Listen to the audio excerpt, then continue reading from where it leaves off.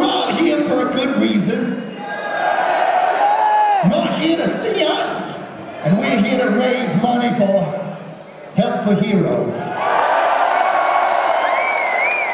Don't forget the people that make this possible are the people who go overseas and fight for your liberty, for your freedom, so you can rock.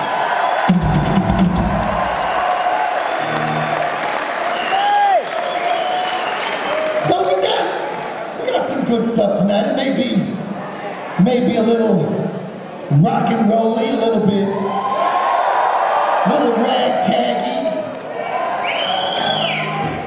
This comes off the new album Monster.